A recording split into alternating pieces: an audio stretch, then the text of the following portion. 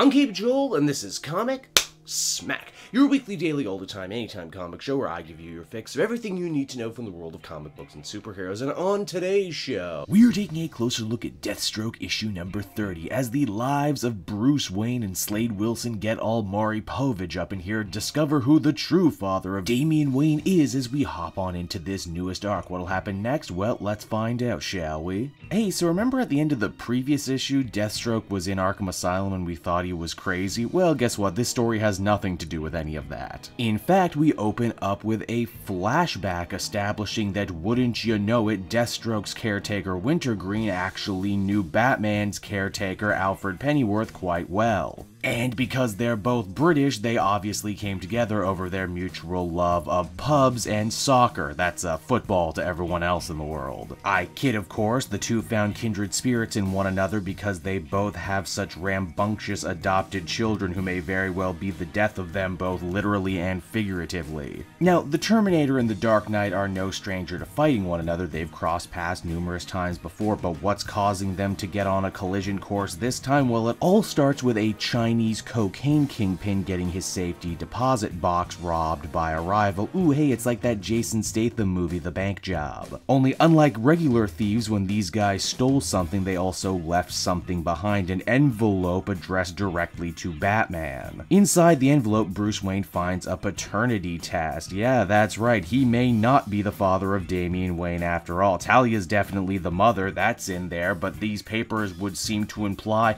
that Slade Wilson is actually actually the papa in this situation. But wait, that's impossible, says Batman, and by extension, the reader. I did my own DNA test when Damian first came to live with me back during the Grant Morrison run. I know I'm his dad, right? Right? Batman opts to look into this by hunting down Deathstroke, and wouldn't you know it, Slade Wilson just so happens to have been hired to kill that cocaine kingpin that got robbed earlier. This means he and Batman end up running into each other and having themselves a little fight. Well, I say little, in reality it's actually quite a big fight. They fall through windows, they choke each other with chains, Batman gets a bunch of his vehicles involved, you know, that sort of thing. Eventually, Batman does decide to open up what's eating him, and that is the paternity test. Deathstroke blows the whole thing off. He's not really interested one way or the other, but he also doesn't think that he couldn't be Damian's dad. He's got money, the ladies love him, and he most definitely sleeps around. Both men are also about 99.9% sure that this is some sort of con conducted by a third party to try and get them to fight each other for some reason. But while Batman begrudgingly wants Deathstroke's help to get to the bottom all of this, Slade really can't be bothered. I mean, hey, he's got a 9 to 5 job as a professional assassin. Batman ultimately does try and play some hardball with the Terminator, saying that if he doesn't get helpful and very soon, Batman's gonna sit on all of his jobs and make sure that Deathstroke never gets paid again. In the end, though, both superhero and supervillain end up walking away very unhappy with one another, so that's Deathstroke number 30, everybody. And overall, I thought it was an occasionally clunky but overall enjoyable enough kickoff to this newest storyline. As a longtime comic reader, I had enough trouble already trying to accept the idea that, oh, Damian Wayne's true father may not be who we think it is, but the two characters in the story feel the same way. While definitely unexpected from a writing standpoint, kinda left me with the feeling of, well, if you guys don't care, then how should I be able to care? What I actually really enjoyed about this story was the brief little almost interview segments between Batman's adopted kids and Deathstroke's own kids, talking about how they failed and succeeded as fathers in their own weird ways. As someone who does read the Deathstroke book quite often, it is a little odd that they just sort of abandon the Is Deathstroke Crazy storyline just to hop into this one right here, right now. Also, while it might be a little early to call, I'm about 90% sure that Wintergreen and Alfred might very well be behind this, trying to teach their adopted sons a lesson, but hey, time will tell. In summation, I'd give this one a 7 out of 10. Interesting enough, I'm definitely going to stick with it and see where it goes, but it did knock my socks off. So that's Deathstroke, everyone. I hope you enjoyed it, and as always, be sure to take a closer look at some of these other videos I have available. Then you can always follow me on Twitter and Facebook so you're always up to date on what I'm doing next. And hey, if you like what I do and are feeling in supportive mood, please check out my Patreon link down in the description. Patrons get exclusive access to videos and content before anyone else, and you can do so for as little as a dollar a month. And until next time, everyone, this has been Caped Joel. Thank you so much for watching and listening, and I'll see you all again later. Bye-bye.